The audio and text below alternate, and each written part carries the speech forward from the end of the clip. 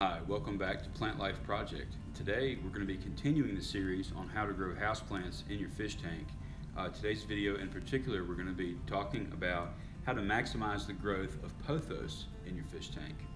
Many people are using pothos uh, to help filter their aquarium water. It's such a great plant at removing those nitrates and phosphates directly from the water column, but there is a way that we can maximize this strategy uh, to further reduce the need for water changes and gravel vacuuming, etc. We're going to look at how and why this strategy works so well, and we're also going to take a look at the growth comparison of the leaves and stems before and after this strategy is implemented.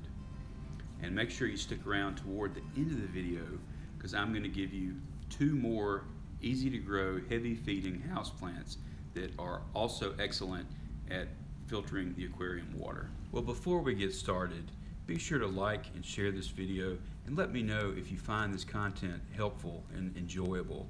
And don't forget to subscribe and hit that notification bell uh, so that you can continue learning about growing houseplants in your fish tank. Well, let's get back to talking about pothos. Pothos growing in the fish tank uh, works by removing those nutrients directly from the water column. That's how most people are using it. And a lot of people have had great success with that. It's helping to balance out their water chemistry and it's reducing the need for a lot of the water changes. But so many people don't realize if they let those roots grow down and into the substrate, then it will greatly improve that plant's ability to clean the water. Most people are trimming the roots before they can get down to the substrate or they're growing the pothos in a bog filter or a sump filter type setup where that water has to be pumped mechanically through that filter in order for the pothos to do its job. But if you can grow the pothos directly in the fish tank, let those roots go through the water column and tap into that substrate, it will increase the plant's filtering ability exponentially. And this is measurable by the improvement in water quality and of course by the improved growth of the plant, which we'll look at in a few moments.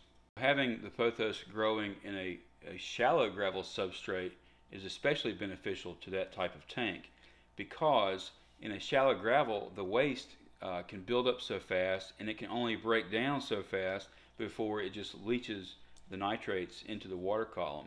But with all those plant roots through the substrate and just the plant's ability to feed so heavily, well, it really helps to balance out that nitrogen cycle.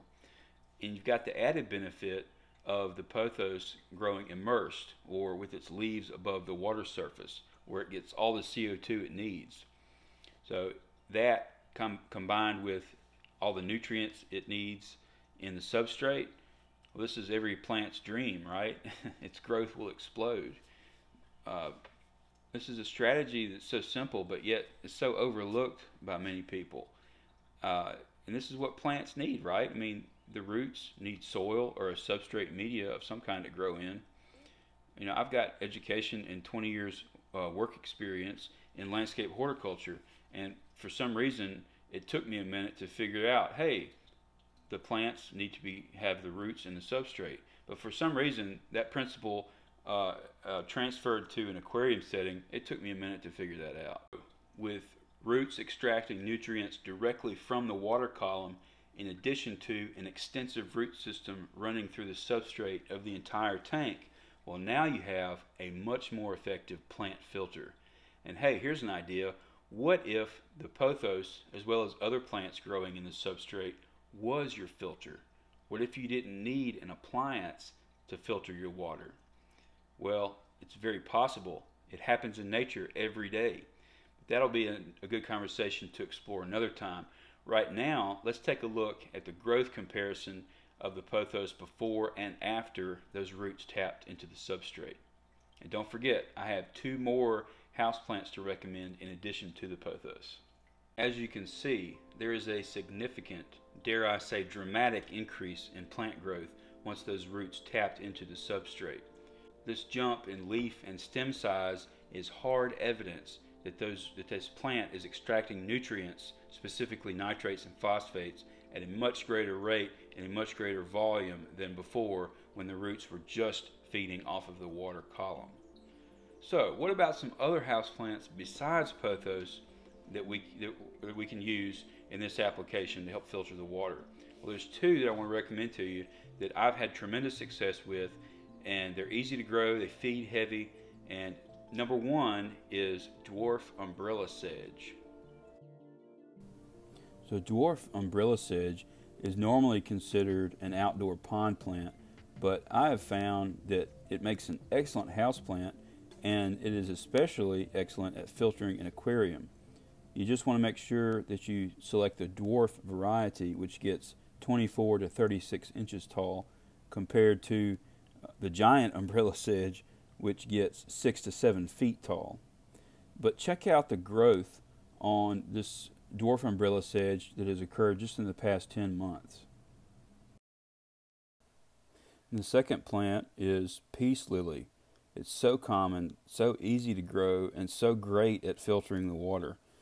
In its natural habitat, it also grows along streams and rivers, which makes it perfect for an immersed aquarium plant. Uh, just make sure that at least half of the total height of the plant is above the water. Now you know how to maximize the use of pothos in your fish tank by letting those roots tap down into the substrate. Hopefully you can get some started soon and save yourself on water changes and gravel vacuuming while having a more balanced, healthier ecosystem at the same time. Well, thanks for watching. Don't forget to like, share, and subscribe. And remember, it's all about the plants.